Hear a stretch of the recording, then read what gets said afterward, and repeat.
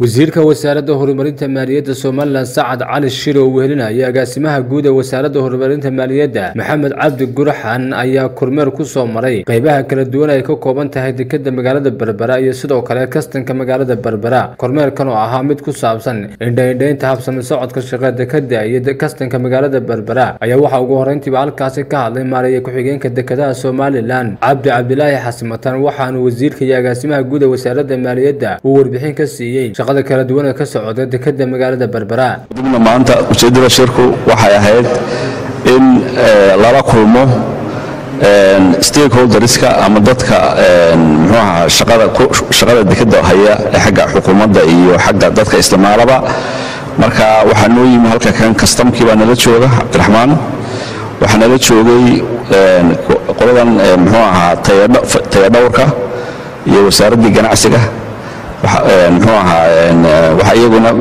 nala joogay maxay ahaayto ganacsatadii waxaa halkan joogtay d weld oo shirka nala gashay iyo ganacsatadii intayadaas waxaanu ka wada hadlaynay arrimaha khuseeya sidii loo hagaajin lahaa oo loo degdad gelin lahaa adeega muxuu ahaa bixiso dekadu dekadu waa adeeg bixiye wasaaradaha khusaysaana adeegaasi markaasi ay ka shaqeeyaan. Ugu dambeyntiina wasiirka wasaaradda maaliyadda somalilan dr. Sacad cali shire oo halkaasi ka hadlay kormeerkan isaga iyo agaasimaha guud ee wasaaraddaasi ay ku sameeyeen qaybaha kala duwan ee dekeda iyo sidoo kale kastanka magaalada berbera ku nimi aniga iyo agaasimaha guud ee wasaaradda maaliyadda socdaal shaqo ayaan halkan ku nimi.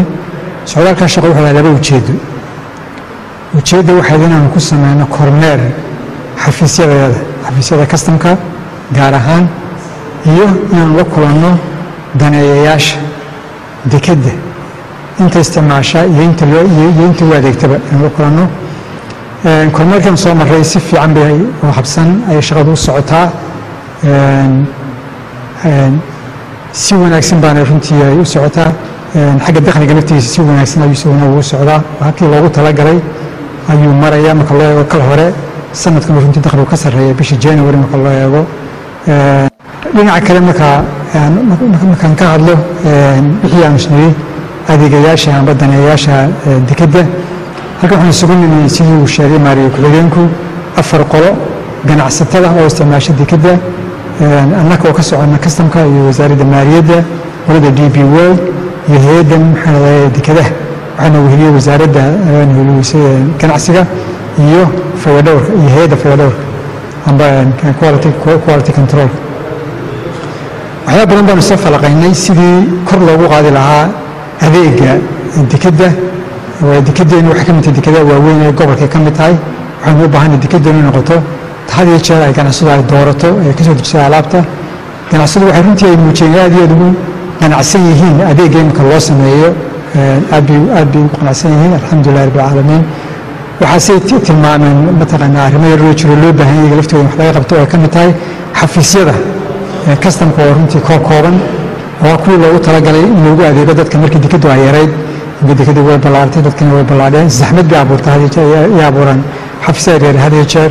Marka arrinkaa waxbaanu ka qabanaynaa waxay kaloo ay laftooda noo soo jeediyeen sidii loo koobi lahaa habraaca la raaco marka qofku doonayo inuu alaab kala baxo dekedda inkuu qofku ku khasban yahay inuu maro meelo fara badan markaa kuwaa laftigooda la soo koobo ay noo soo jeediyeen. Waxaan kaloo isku raacnay in guddi la sameeyo laba heera heer isu yimaada heer sare oo isu yimaada saddexdii biloodba mar iyo heer farsamo oo isu yimaada labadii toddobaadba mar. Siday uga wada xaajoodaan waxyaabaha loo baahan yahay wax laga qabto sidii loo tayin lahaa dekedda. Maslax salebaan sidde wararka telefishinka ariel berbera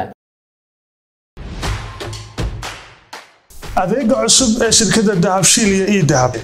Haddaba macmil adeegan cusub ee casrigaahi waxa uu kuu sahlayaa in adigoo jooga gurigaaga hoose goobtaada shaqo aad lacag ugu xawshid asxaabtaada iyo ehelkaaga jooga daafaha dunida